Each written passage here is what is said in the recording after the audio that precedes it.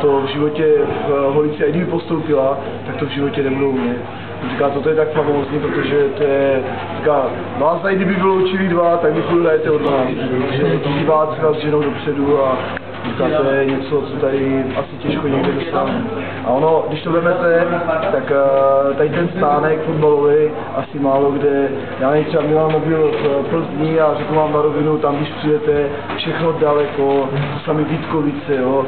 Eh, Teď samozřejmě takhle, Dolíček je něco jiného, tam je ten, eh, ta tribuna velká, teď eh, tam mají pro ty stojící, co- proto tam mají tolik lidí, ale, ale tady toto je famózní, to, co, co tady fandíte a, a celý zápas je slyšet, tak to je bomba, jako. To nikde není fakt. To, to je ten Leoš už to prošel dost, že vyhrál v Žilině titul, říká to, to, to je prostě, co vám každý může závidět. Ale to je jako vaše samozřejmě. což je super.